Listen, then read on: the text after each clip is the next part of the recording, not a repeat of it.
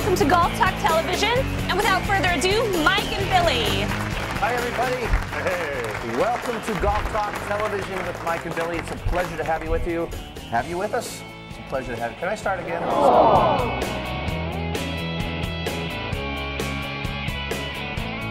We have decided in the, in that because our show is so successful and we're big time now on ESPN Radio that we try to bring this to television. But I'm a radio star. Did you know that? I do radio. Mm-hmm. Um, I'm a golf professional. I'm an athlete.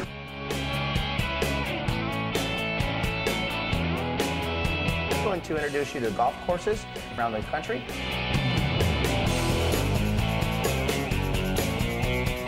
You know what time it is? I know. It's time for Make the Call You!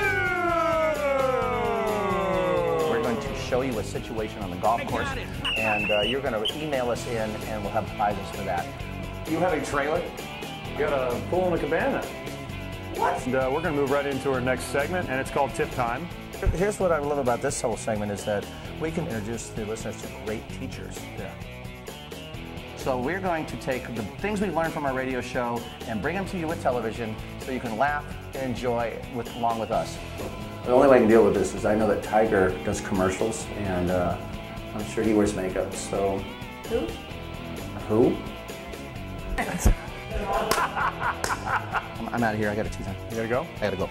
Okay. You all right? I'll see you, I'll see I'm you, good. I'll see you next week. We got three lessons. Thanks, man. See you, bud. Bye.